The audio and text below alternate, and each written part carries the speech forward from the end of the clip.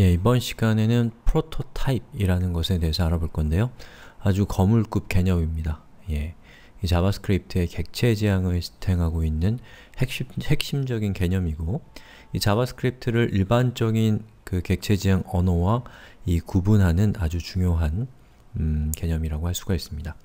자, 우선 프로토타입이라는 말이 한국어로는 원형이란 뜻입니다. 원형 뭐 원래의 형태 뭐 이 정도로 번역할 수 있겠는데요. 어, 이 프로토타입을 통해서 자바스크립트는 어, 상속이라고 하는 개념을 어, 제공을 하고 있어요. 자 그러면 프로토타입이 무엇인가 살펴보겠습니다. 자 여기 있는 코드를 보시면 음, 세 개의 생성자가 정의되어 있습니다. 하나는 Ultra, Super, Sub 이렇게 됩니다. 그래서 제가 이 Sub라고 하는 객체를 만들었을 때 그 객체의 ultraProp라고 하는 property에 접근했을 때 어떤 결과가 나오냐면 얘는 true가 나옵니다. 자 그런데 이 Sub라고 하는 객체 자체는 이 Sub를 통해서 만들어진 객체 자체는 여기 있는 두 줄의 코드를 보시면 알겠지만 ultraProp라는 값을 가지고 있지 않습니다. 자 그럼 이 값은 누가 가지고 있냐? 바로 이 Sub의 부모인 Super, Super의 부모인 Ultra가 예, ultraProp true라는 값을 가지고 있어요. 그럼 지금 어떻게 되는 거냐면 울트라 라고 하는 최상위 객체가 있고 사실은 그 위에 또 누가 있습니다. 그 다음에 Super라고 하는 중간 보스가 있고 그리고 Sub라고 하는 졸개가 있다고 하면 예. 어, Sub는 Super를 상속받고 Super는 Ultra를 상속받습니다. 그리고 울트라 안에 ultraProp라고 하는 값이 true로 설정이 되어 있는 거예요. 그래서 제가 Sub에 접근을, Sub에 ultraProp으로 접근을 했을 때 Sub라는 객체에는 이 값이 정의가 되어 있지 않죠? 그럼 JavaScript는 내부적으로 Super라고 하는 객체가 ultraProp이라는 값을 가지고 있는지를 확인합니다. 근데 그렇지도 않으면 Super의 부모인 Ultra라고 하는 이 객체 안에서 ultraProp이라는 값을 찾게 된다는 것이죠. 자 그렇게 해서 우리가 어, 서브에 정의되어 있지 않은 값인 울트라 프로프의 값을 사용할 수가 있게 되는 것이죠. 자 그러면 그것이 가능하도록 하는 핵심적인 역할을 한 바로 이 프로토타입이라고 하는 것이 도대체 무엇인가를 살펴보겠습니다. 자 우선 생성자에 대해서 이야기를 해보죠. 생성자 생성자는 기본적으로 함수입니다. 여기 보시는 것처럼요.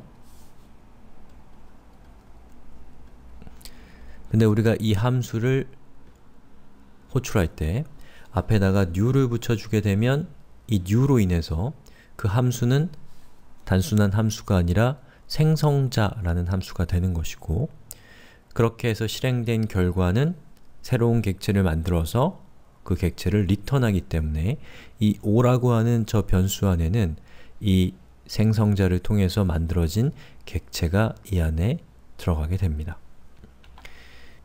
자, 이게 생성자의 역할이에요. 자, 그런데 그냥 비어있는 객체를 생성하는 것이 생성자의 역할이라고 한다면 별로 의미는 없을 겁니다. 가치가 별로 없을 거예요. 이를테면 이렇게 쓰지 말고 그냥 비어있는 객체를 넣는 거면 이렇게 해도 되잖아요. 객체 literal을 통해서 자 그런데 그렇게 하지 않고 이렇게 하는 이유는 바로 우리가 어떠한 객체를 획득했을 때, 객체를 만들 때 그 객체가 가지고 있어야 되는 어떤 method 또는 그 객체가 가지고 있어야 되는 데이터인 property 값을 기본적으로 가지고 우리에게 딱 주어주기를 바라는 것이죠. 왜냐? 그 객체 안에 로직이 담겨있고 그 객체 안에 데이터가 담겨있기 때문이죠. 비어있는 것은 우리한테 별로 소용이 없잖아요.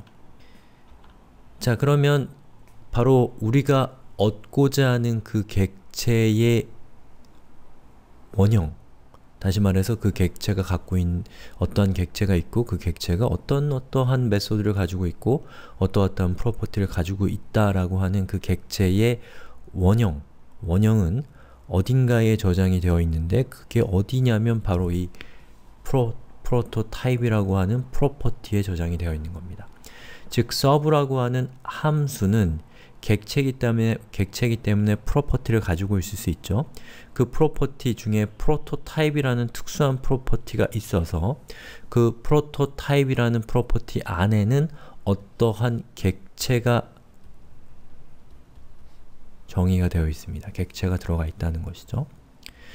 그렇게 객체를 저장해 놨다가 예, 이런 식으로 나중에 new를 이용해서 생성자로 호출하게 되면 JavaScript는 이 생성자 함수의 프로토타입 프로퍼티에 저장되어 있는 객체를 꺼내서 그것을 리턴해 주게 됩니다. 자, 제가 이렇게 펑크라고 하는 함수를 정의했는데요.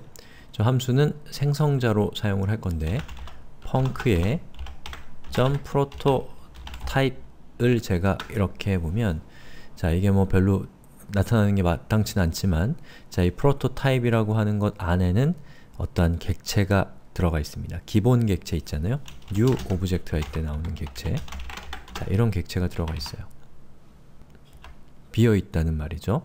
자, 근데 그 비어있는 객체 안에다가 제가 name하고서 egoing을 주게 되면 자, 그 다음부터는 제가 o, new func 라고 한 다음에 o를 enter를 쳐보면 보시는 것처럼 이 o라고 하는 객체 안에는 이 객체 안에는 name 값으로 egoing이 들어가 있는 겁니다. 그것은 왜 그러냐면 제가 위에서 생성자의 프로토타입, 이 prototype property에 저장되어 있는 객체의 name 프로퍼티로 egoing을 줬기 때문에 제가 생성자를 생성하면 그렇게 해서 만들어진 객체는 바로 이 prototype이라고 하는 객체가 return 되는 것인 거죠. 자 그러면 제가 Sub.prototype이라고 하고 new Super라고 하는 것은 뭘까요? 이것은 슈퍼 생성자가 만든 객체가 이 안에 들어가는 것이죠. 그리고 슈퍼 생성자 라고 하는 이 함수의 프로토타입 값으로 제가 이번에는 new Ultra를 줬습니다. 그러면 이건 무슨 뜻이죠?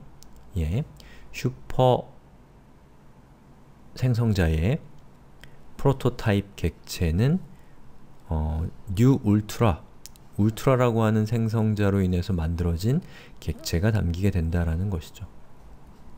자 그럼 얘는 어떻게 되어 있나요? 이렇게 생겼죠. 근데 얘의 Ultra의 prototype 값은 ultraProp이라고 하는 값을 가지고 있습니다. 그리고 얘가 true 값이기 때문에 우리가 이렇게 해서 객체를 생성하면 그렇게 생성된 객체 안에는 바로 ultraProp이라고 하는 예, property 값이 true의 값으로 저장되어 있는 그런 객체가 여기에 만들어지게 되는 것이죠. 바로 그것이 Super의 prototype이 되는 것이고 그리고 우리가 new 슈퍼를 해서 객체를 만들면 Super의 prototype에 저장되어 있는 객체가 얘가 되는 거죠. 그러면 얘는 어디로 들어가나요? Sub라고 하는 생성자의 prototype으로 들어가죠. 그래서 우리가 new Sub를 하게 되면 바로 이 서브라고 하는 생성자의 프로토타입 안에 들어가 있는 이 객체가 요리로 들어오게 돼서 오를 하게 되면 그 객체가 만들어지고 어, 5라고 하는 식별자, 저 변수에 저장이 되고 5.ultrapro프를 하게 되면 우리는 이 바로 이 값을 사용할 수 있게 되는 겁니다. 자, 이러한 개념을 뭐라고 하냐면